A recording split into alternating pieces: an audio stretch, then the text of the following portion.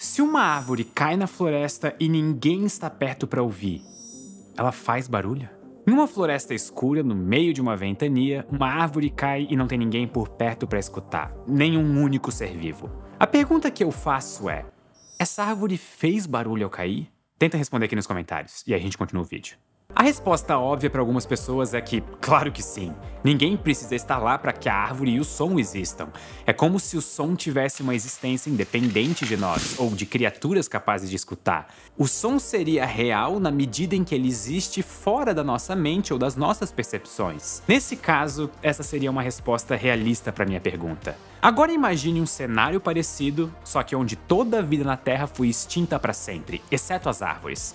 Elas ainda fazem barulho ao cair? O que está em jogo aqui é a definição de som. Esse é o primeiro passo para responder essa pergunta. Se você procurar no dicionário ou jogar no Google, nós encontramos duas definições. A primeira diz que o som é tudo aquilo que é captado pelo sentido da audição. Nessa definição, a árvore não teria feito barulho ao cair. Já a segunda definição, que é usada na física, é um pouco mais específica. O som seria a vibração que se propaga em um meio material com uma frequência entre 20 e 20 mil Hz, capaz de ser percebida percebida pelo ouvido humano. E aqui, de todas as vibrações existentes, apenas uma pequena faixa delas é caracterizada como som, o que pode ser questionado de várias formas. Em todo caso, ambas as definições relativizam o som à nossa existência, ainda que a definição física não exija que o som seja de fato escutado, apenas que seja capaz de ser percebido. Mas, é claro, definições de dicionário nem sempre são suficientes quando nós fazemos uma pergunta filosófica. Existem dois principais caminhos para responder a minha pergunta: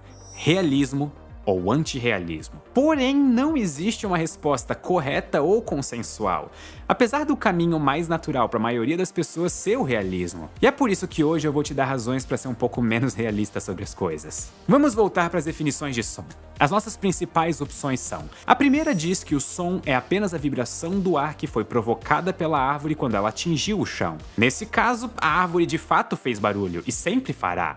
E aqui nós temos um realismo ontológico, ou seja, o mundo existe mesmo que não haja nada para percebê-lo. Se um dia toda a humanidade for extinta para sempre e uma árvore cair, ela ainda vai fazer barulho. A segunda diz que o som é apenas uma vibração do ar que faz com que ondas sonoras atinjam os nossos tímpanos que por sua vez atingem células receptoras do som que serão eventualmente processadas pelo nosso cérebro. Nesse caso, a árvore não fez barulho ao cair, porque nenhum tímpano foi atingido. Nós podemos pensar também em como essa definição se aplica no caso de deficientes auditivos que percebem o som, ou pelo menos a vibração originária do som por meio de outros sentidos. E a terceira opção é de que o som é a percepção e construção mental que nós fazemos de vibrações que chegam ao nosso ouvido. Nessa opção, a definição de som é completamente relativizada às nossas percepções. E, claro, a árvore não faria barulho se caísse numa floresta vazia. E é aqui que entra George Berkeley, um filósofo irlandês do século XVII que defendeu o idealismo subjetivista,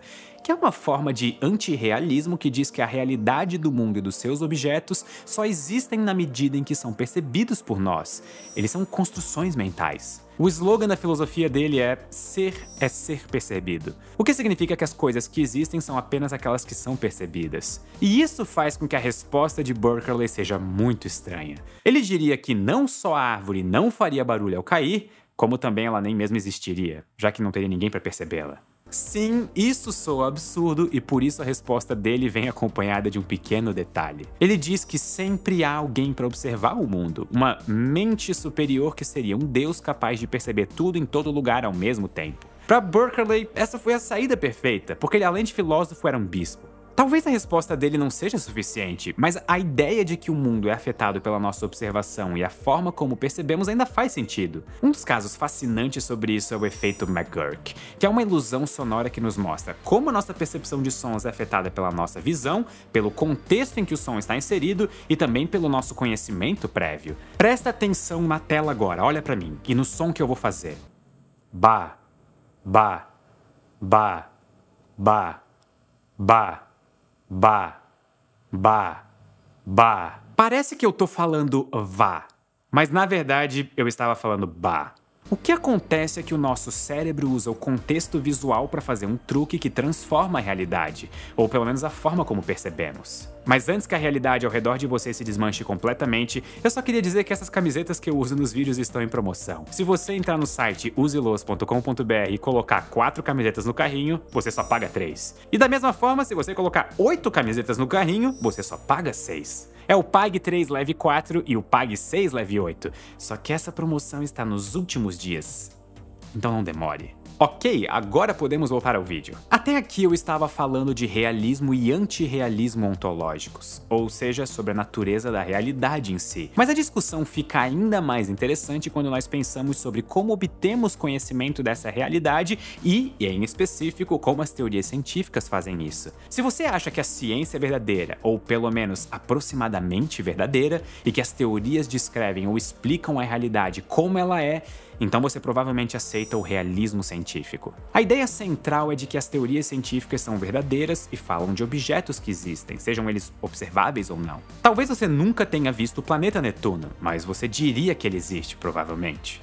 Sei lá se já existe negacionismo de Netuno no mundo. Nós podemos observá-lo indiretamente num telescópio ou até prever a existência de planetas matematicamente antes mesmo de observá-los, como foi o caso de próprio Netuno. A descoberta de Netuno aconteceu porque astrônomos observaram perturbações na órbita de Urano que violavam a lei da gravitação universal de Newton. O que poderia explicar esse problema seria um corpo de massa suficientemente grande para afetar a gravidade, que no caso é um planeta. Ok, então a ciência parece oferecer previsões e explicações muito boas sobre o que existe, e por isso muitas pessoas acreditam que as teorias científicas são completamente verdadeiras. Porém, essa percepção é historicamente e filosoficamente desinformada. Quando falamos sobre verdade numa teoria, não está claro exatamente ao que nós estamos nos referindo. A ciência é a nossa fonte mais confiável de previsões e explicações. Ela funciona muito bem, sem sombra de dúvidas.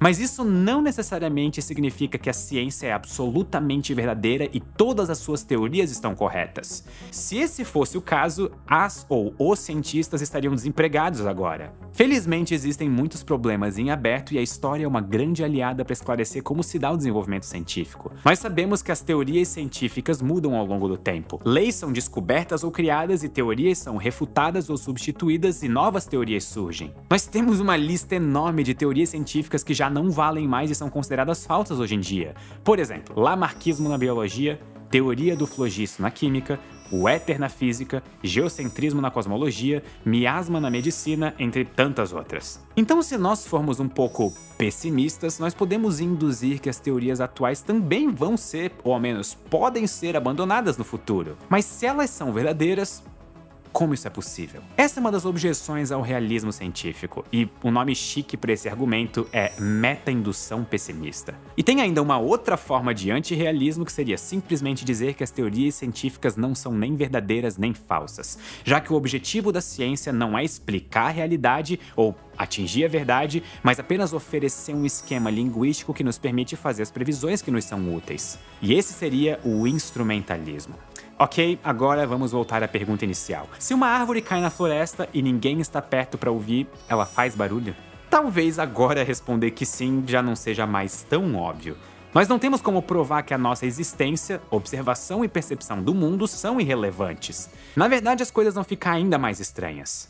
Um dos experimentos mais famosos da mecânica quântica é o experimento da fenda dupla. De forma rápida e geral, até porque ele já foi explicado em outros vídeos aqui no canal, a ideia é que elétrons ou qualquer outra entidade quântica são disparados através de uma placa com duas aberturas, duas fendas paralelas, até atingirem uma superfície atrás dessa placa. Se uma das aberturas fosse coberta, então só haveria uma única abertura para os elétrons passarem, de forma que eles não iriam interferir um com o outro. O resultado, como esperado, é um simples feixe de elétrons que se comportam como partículas. Nesse caso, a distribuição é similar se nós formos jogar grãos de areia por uma fenda. Vocês podem fazer o teste em casa, mas vai demorar um pouco. O próximo passo é disparar os elétrons através das duas aberturas, só que de forma bastante lenta.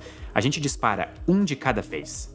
E o resultado disso é um padrão de interferência de onda, como se os elétrons tivessem se comportado e interagido da mesma forma que ondas. Mas isso é inesperado, porque os elétrons são disparados um a um, como partículas. Mesmo assim, o resultado final é um padrão de interferência característico de ondas. Para entender o que está acontecendo, um detector é adicionado ao experimento a fim de identificar o comportamento de cada elétron individualmente. O cenário é o mesmo do anterior. Tudo que mudou é a adição desse detector. Porém, o resultado é surpreendentemente outro. Os elétrons se comportam como partículas novamente. A moral da história é que o comportamento das partículas é indeterminado até que uma medição seja feita. Ou seja, o dispositivo que observa provoca o colapso da onda a partir do momento em que ele faz uma medição, como que exigindo que a partícula se decida sobre ser uma onda ou ser uma partícula. A interpretação de Copenhagen, que é a mais comum e aceita da mecânica quântica, sugere que antes de o elétron ser medido, ele ainda não é nem uma onda nem uma partícula, mas uma nuvem de probabilidade. Um estado de superposição que oferece uma probabilidade diferente para cada região da nuvem, indicando onde o elétron pode aparecer depois de ser medido. Mas isso significaria que a realidade não é tão bem comportada como nós pensamos. Essa interpretação da mecânica quântica é atribuída principalmente a Niels Bohr e Werner Heisenberg, apesar dos dois nunca terem de fato concordado sobre como formalizar a mecânica quântica. Mas ela também é atribuída a cientistas como Max Born, Ernst Jordan, Wolfgang Pauli e vários outros, e ela foi elaborada no final dos anos 20. Um dos cientistas contra a interpretação de Copenhagen foi ninguém menos do que Albert Einstein, que assumiu uma posição realista e, segundo anedotas, teria perguntado ao físico historiador neerlandês Abraham Pace você realmente acredita que a Lua só existe quando nós olhamos para ela? Um dos problemas dessa interpretação para Einstein é que ela não consegue prever com certeza o que, que vai acontecer num sistema depois da sua medição. Ou seja, o chamado realismo de Einstein toma a física como uma teoria determinista, que deve nos oferecer equações capazes de fazer previsões certeiras sobre um dado sistema em qualquer instante do tempo. E é basicamente isso que nós fazemos nos exercícios de física da escola quando pedem para calcular quando que um carro vai ultrapassar o outro dadas certas velocidades e distâncias. Mas a mecânica quântica é um pouco mais complicada. E isso não acontece na interpretação de Copenhagen, em que nós temos apenas probabilidades do estado futuro de um sistema, mas é impossível determinar um valor antes da medição. Então, vamos lá? Se uma árvore cai na floresta e ninguém está perto para ouvir, ela faz barulho? Pela interpretação que eu acabei de falar, nós nunca saberíamos. A árvore só teria feito barulho ou não se houvesse algum tipo de detector na floresta. Eu acho fascinante que essa pergunta é aparentemente inofensiva, mas eu espero que eu tenha dado algumas razões para vocês entenderem o porquê não há uma resposta correta ou consensual para ela. Eu só queria que todo mundo que está assistindo esse vídeo entendesse que existe uma beleza especial em não saber sobre tudo. Muito obrigado e até a próxima.